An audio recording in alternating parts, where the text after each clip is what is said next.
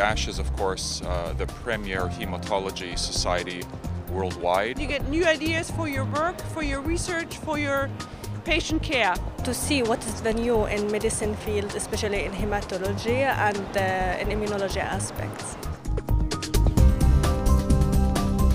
ASH can unite all the hematologists worldwide. Updates, updates, constantly updates because it changes so fast. It's a chance for networking, it's a chance to come up with new ideas, and it's a chance to see whether those new ideas are working. The APL story is a story of international collaboration. We have the cure.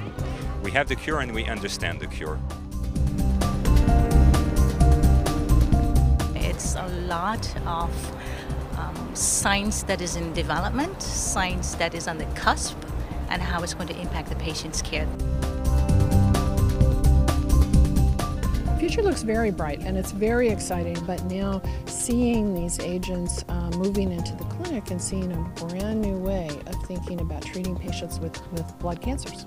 It really is a paradigm changing therapy in AML. We've now got a therapy that um, is going to be transformative to how we apply prophylaxis. This is an exciting time in sickle cell disease where we are seeing finally a lot of the advances that have occurred over decades. The field of chimeric antigen receptor mediated therapy for hematologic malignancies, it's on fire.